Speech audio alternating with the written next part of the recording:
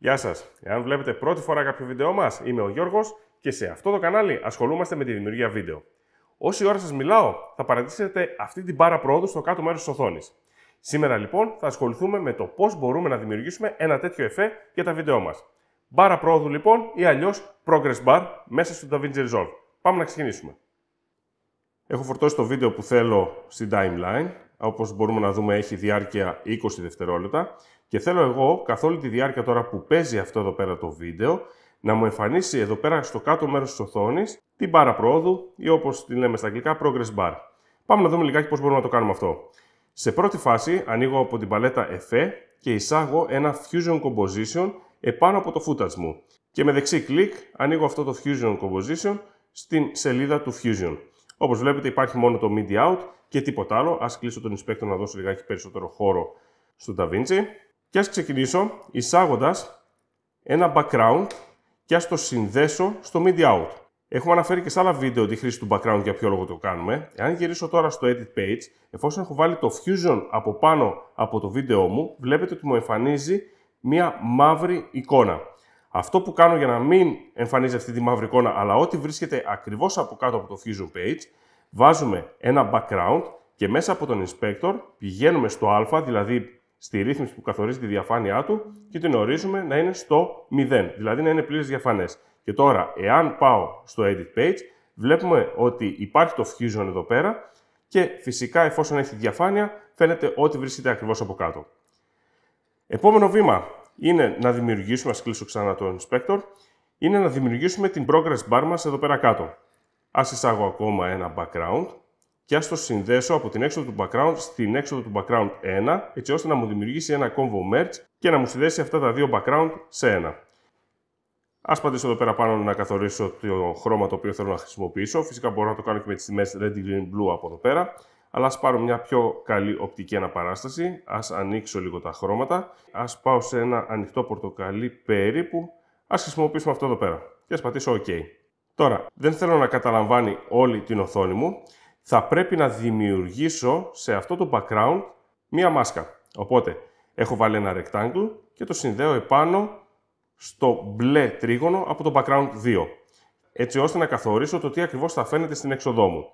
Ας μικρύνω λιγάκι, επιλέγω το rectangle και ας μικρύνω λιγάκι τη μπάρα. Θα δημιουργήσω δηλαδή σε αυτό το σημείο την μπάρα. Ας το μεταφέρω στο σημείο που θέλω. Ας το μεταφέρω εδώ πέρα κάτω. Ας το ανοίξω κι άλλο. Και επειδή αυτό θέλω να είναι το περίγραμμα από την Progress Bar, έχοντας επιλεγμένο το Rectangle, από το Inspector θα απενεργοποιήσω το Solid και θα βάλω να έχει ένα border width, δηλαδή να βάλω ένα περίγραμμα γύρω-γύρω. Ας βάλω πάχους 0,112. Νομίζω ότι σε αυτό το πάχος είναι αρκετά καλό. Οπότε τι έχω κάνει, έχω δημιουργήσει τώρα ένα περίγραμμα από την μπάρα που θέλω να δημιουργήσω. Επειδή όμως μου φαίνεται λίγο μεγάλο αυτό το περίγραμμα, ας το μικρύνω κι άλλο. Ας το κάνω λιγάκι πιο λεπτό. Ας το αφήσουμε σε αυτό εδώ πέρα το σημείο. Ωραία. Έχω δημιουργήσει το περίγραμμα και τώρα θέλω να δημιουργήσω μέσα την μπάρα που θα υπάρχει εδώ πέρα. Οπότε μπορώ να πάρω ξανά αυτά τα δύο. Ας τα αντιγράψω για να μην τα δημιουργώ ξανά από την αρχή. Και ας τα επικολλήσω ξανά εδώ πέρα μέσα. Και φυσικά τα παίρνω και τα συνδέω μετά από το Merge 1 για να δημιουργήσω την μπάρα. Τώρα βέβαια, εδώ πέρα θα πρέπει να κάνω ένα αντίστροφο εφέ, δηλαδή δεν θέλω να είναι γύρω-γύρω το περίγραμμα, αλλά θέλω να γεμίσει τη μέσα περιοχή. Οπότε, επιλέγω τώρα το rectangle και ενεργοποιώ το solid, έτσι ώστε να μου γεμίσει μέσα την μπάρα. Βέβαια, θέλω να αφήσω κάποια κενά ενδιάμεσα από την μπάρα, οπότε ας κάνω λιγάκι zoom εδώ πέρα, να φαίνεται. Ας πάρω και ας μικρύνω λιγάκι το ύψος, έτσι ώστε να μου δημιουργήσει αυτήν εδώ πέρα τη διαφορά και ας πάω και εδώ πέρα να μικρύνω λιγάκι το πλάτος έτσι ώστε να μου δημιουργήσει αυτό εδώ πέρα μέσα το ορθογώνιο. Ας πάμε λιγάκι να το ξαναδούμε λιγάκι σε fit. Οπότε έχουμε δημιουργήσει μέχρι αυτό το σημείο αυτήν εδώ πέρα την μπάρα. Τώρα, αυτή την μπάρα θέλουμε το μέσα κομμάτι, αυτό εδώ πέρα το ορθογώνιο δηλαδή, να μετακινείται όσο φορτώνει το βίντεο. Προσέξτε λιγάκι, εδώ πέρα έχω δημιουργήσει μέσα στο Fusion 119 frames. Θα το μικρύνω λιγάκι εγώ αυτό, ας πάω λιγάκι πίσω στο Edit, ας μεγαλώσω λιγάκι την timeline μου και ας πάρω μόνο τα πρώτα, για παράδειγμα, 10 frames και ας κόψω το Fusion Composition και ας διαγράψω αυτό εδώ πέρα το κομμάτι και ας αφήσω μόνο αυτά εδώ πέρα τα 10 frames. Οπότε κάνω δεξί κλικ εδώ πέρα πάνω, το ανοίγω πάλι στο Fusion Page και βλέπουμε ότι τώρα έχουμε δημιουργήσει μόνο το σκηνικό μας για 10 frames. Αυτό γιατί το έκανα, γιατί θέλω την όλη κίνηση να την προσωμιώσω μέσα σε λίγα frames, έτσι ώστε όταν θέλω μετά να μεγαλώσω αυτό το Fusion Composition, αν θέλω δηλαδή να το πάρω και να το τραβήξω προς τα δεξιά, να καλύπτει ολόκληρο το βίντεό μου, να μπορώ να το κάνω αυτό. Εάν είχα κάποιο μεγάλο Fusion Composition, αν ήταν τόσο για παράδειγμα, που έχει εδώ πέρα αρκετά frames, και το βίντεό μου έφτανε μέχρι πιο πριν και ήθελα να το μικρύνω σαν Fusion Composition, τότε θα μου δημιουργούσε πρόβλημα. Α αναιρέσω τις αλλαγές που έκανα για να το ξαναγυρίσω στα 10 frames.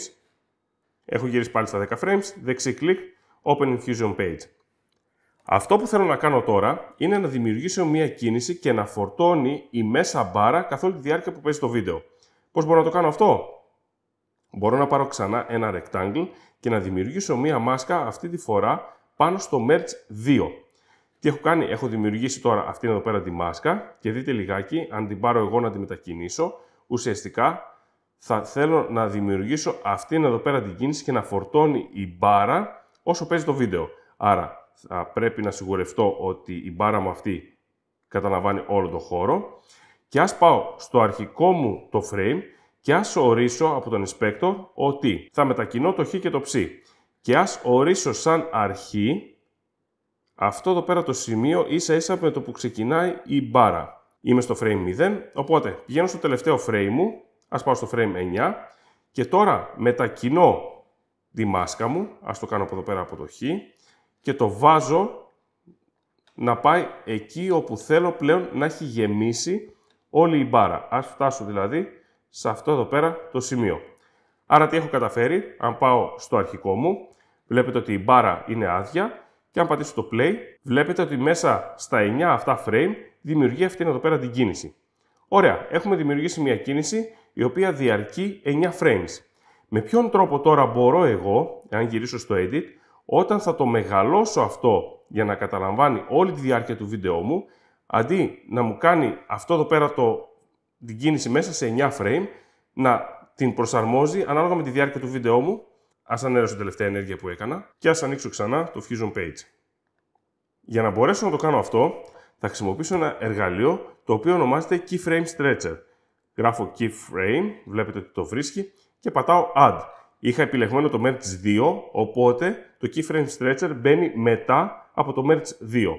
Εάν δεν είχα επιλεγμένο κάποιο και έμπαινε έτσι εδώ πέρα μέσα, θα μπορούσα να το πάρω και με Shift να το βάλω μετά το Merge 2. Προσέξτε ότι το keyframe stretcher θα πρέπει να είναι ο τελευταίος κόμβος πριν από το media out. Διαφορετικά μπορεί να σας δημιουργήσει προβλήματα μέσα σε όλο το composition σας.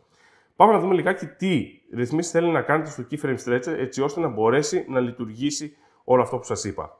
Εάν επιλέξουμε τώρα το keyframe stretcher, θα δούμε μέσα στον inspector ότι μπορούμε να κάνουμε τέσσερις βασικές ρυθμίσεις. Να ρυθμίσουμε το source start, source end, το stretch start και το stretch end. Εδώ πέρα σαν τιμές θα πρέπει να βάλουμε τις τιμές που φαίνονται εδώ πέρα κάτω στα keyframe μας. Δηλαδή, σαν source start θα βάλουμε το 0 γιατί από εδώ ξεκινάει όλο το animation μας και σαν source end θα βάλουμε το frame 9 όπου ολοκληρώνεται όλη μου η κίνηση. Το ίδιο θα κάνω και στο stretch start όπου θα βάλω το 0 και στο stretch end όπου θα βάλω το 9. Εάν γυρίσουμε τώρα στο edit και μεγαλώσουμε λιγάκι το fusion composition μας, ας το κάνουμε μέχρι εδώ πέρα, εάν πάμε στην αρχή και πατήσουμε το play, βλέπουμε ότι η μπάρα φορτώνει όσο περνάει ο χρόνος στο Fusion Composition. Εάν για παράδειγμα τώρα, ας μικρύνω λιγάκι το view, πάρω εγώ το Fusion Composition και το κάνω να έχει διάρκεια όσο έχει το βίντεο μου, τότε αν ξαναγυρίσω στην αρχή και πατήσω το play, θα δείτε ότι η μπάρα φορτώνει όσο είναι και το μέγεθος του βίντεο το οποίο υπάρχει πάνω στην timeline μου. Προσαρμόζεται δηλαδή το Fusion Composition, προσαρμόζεται δηλαδή αυτή η μπάρα στο μέγεθος του βίντεο που βρίσκεται από κάτω.